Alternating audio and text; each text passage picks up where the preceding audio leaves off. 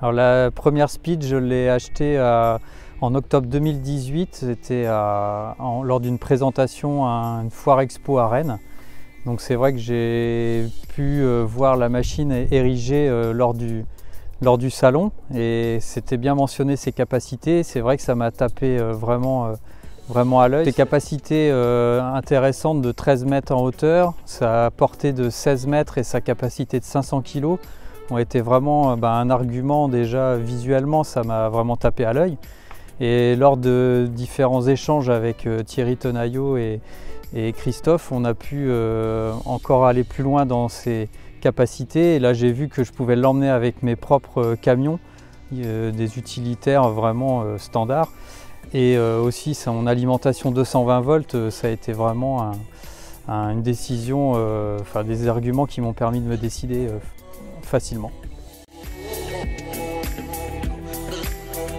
Alors, au-delà des capacités techniques, c'est ce qu'elle m'a permis de me faire, c'est de me projeter aussi dans l'avenir avec mon entreprise, dans le sens où euh, bien maintenant je peux me projeter euh, sur euh, des dizaines d'années, voire sur toute ma carrière, puisque c'est un travail très physique la couverture, on a beaucoup de manutention et on peut se poser la question de comment on va pouvoir au long de notre carrière continuer à travailler le plus longtemps possible, puisque maintenant il faut travailler aussi le plus longtemps possible, il faut réussir à se préserver. Et c'est avec des machines comme ça et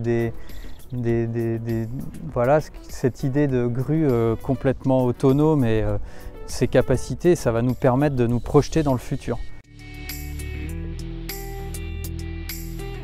Moi, ça me semblait assez pertinent d'avoir deux machines, euh, vu, notre effectif, on est à six salariés sur le terrain.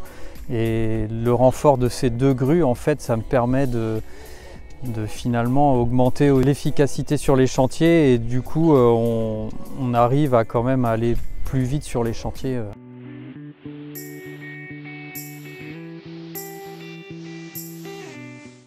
Alors oui, il y a un chantier euh, assez emblématique, on a réalisé l'année dernière, donc c'était un chantier qui était difficile d'accès. Et euh, donc je m'étais dit, euh, oh là, une fois que la speed va être mise là, euh, on va finir le chantier et puis on la ressortira après.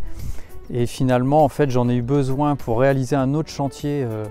j'ai eu besoin de la, ressortir du chantier. Donc finalement, je l'ai déménagé deux fois, alors que c'était un accès difficile. Mais finalement, elle est tellement maniable qu'on a réussi à facilement l'enlever, la mettre sur un autre chantier.